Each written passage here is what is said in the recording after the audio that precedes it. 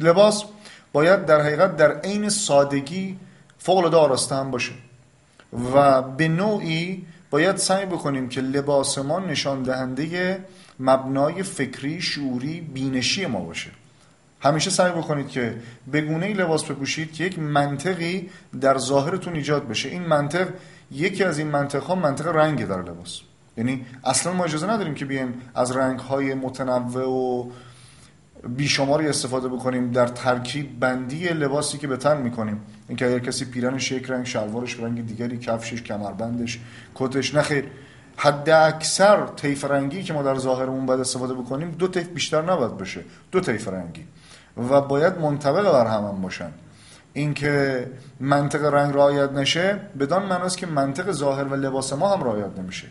همیشه سعی بکنید لباستون به نوعی شبیه به لباس دانشگاهیان باشه که نشان دهنده مبنای فکری شماست و نشان می‌دهد که شما برای مقوله شعور آگاهی و فکر ارزش قائل هستید.